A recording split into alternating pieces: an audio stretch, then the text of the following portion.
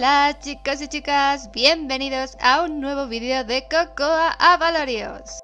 Me habéis escrito un montón de veces pidiéndome ideas para pendientes para chicas sin agujero, así que he ideado un sistema que si bien no es infalible, nos va a servir para hacer pendientes de clip. Para ello tan solo se necesita un poco de alambre y tus preciosas manitas. Esta manualidad requiere precisión, así que si no tienes mucha maña, practica un poquito antes.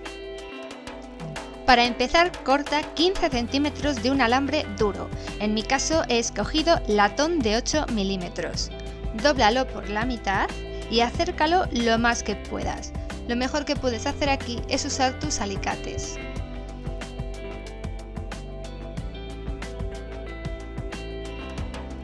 Cuando lo tengas tienes que enrollar. Es un proceso complicado por la dureza del alambre, pero con paciencia estoy segura que vas a conseguir ese caracol. Es muy importante que el alambre que uses sea duro porque si no, no va a funcionar el sistema. Necesitamos que la dureza de ese alambre aguante y haga presión. Así que no desesperes, poquito a poquito vas enrollando y vas consiguiendo un caracolito que mida más o menos un centímetro. Y cuando esté hecho tienes que doblar esos trocitos que te sobran más o menos así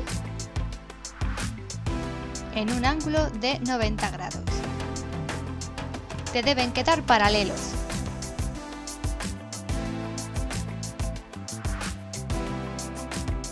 Ahora tienes que meter una chafa en cada uno de los extremos. No vale a valorio común, tiene que ser chafa para que podamos aplastarlo después.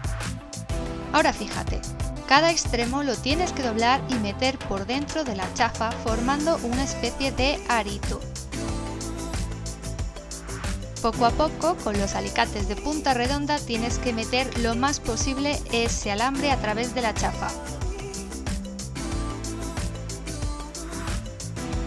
Mételo hasta que te quede una argolla de más o menos un par de milímetros y cuando lo tengas aplástalo un poquito, pero solo un poco, sin que llegue a juntarse. Ahora debes hacer lo mismo en el otro lado. Lo mismo que te he dicho antes, esto no es un proceso sencillo porque el alambre es duro, pero con paciencia y con ayuda de tus alicates estoy segura de que puedes conseguirlo. Fíjate bien, así es como te debe quedar. Y ahora tenemos que aplastar esa chafa lo máximo posible.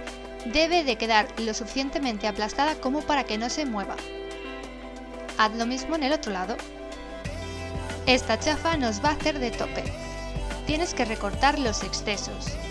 Si ves que te queda inseguro y que no se ha apretado bien, pon un poco de pegamento en las chafas.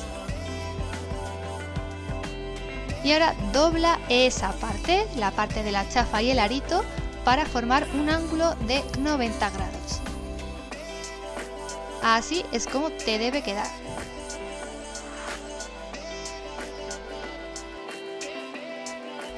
Ahora tienes que crear una especie de T, como la que te estoy mostrando, exactamente igual, y martillear muy bien esos extremos para que se queden planos. Mete cada ladito de esa T en nuestra pieza que hicimos antes y así es como se verá.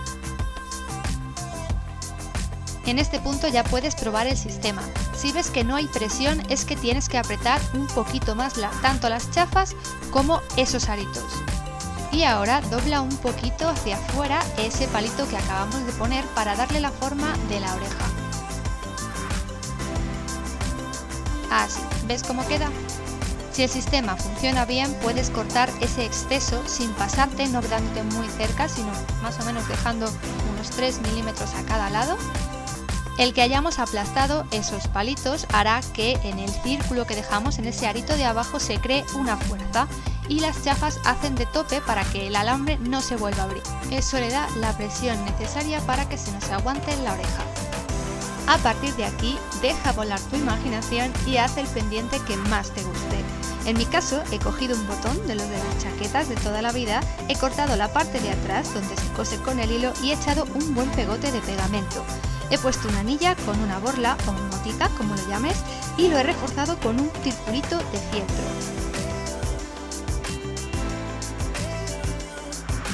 Tras dejarlo secar muy bien, he echado más pegamento y he pegado nuestro clip hecho a mano.